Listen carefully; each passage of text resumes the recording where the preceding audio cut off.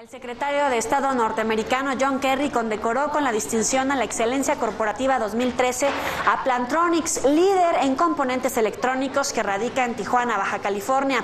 Este premio se les da a las empresas norteamericanas que tienen plantas en otros países y que logran la excelencia por su innovación tecnológica y programas sociales.